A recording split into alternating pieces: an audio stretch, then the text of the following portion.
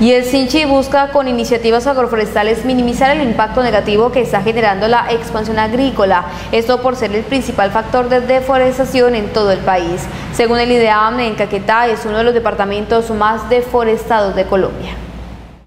Tras conocerse el más reciente informe del IDEAL sobre deforestación en Colombia, que ubica el Caquetá entre los primeros departamentos con altos índices, el subdirector de investigaciones del CINCHI, Marco Erlix, manifestó que el instituto tiene un gran reto en buscar mecanismos alternativos para evitar que se siga expandiendo la frontera agrícola, que es uno de los primeros factores de deforestación en el país. La entidad desarrolla varias iniciativas en el sector agroforestal de la región que buscan generar ingresos y conservar el bosque. Eso justamente es la, gran tarea, el gran reto que tenemos en este momento, que es eh, de promover una, con la participación de las comunidades y de los, eh, agricultores,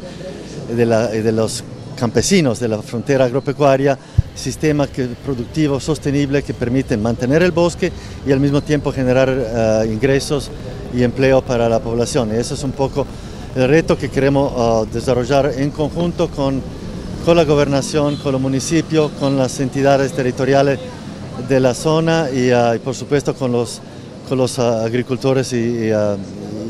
productores de la, de la región. El funcionario dijo que todo el país hay que frenar la frontera agropecuaria que está generando daños al medio ambiente. Es un tema que hay que prioritario para todos, para todo el país, frenar la, frontera agropecuaria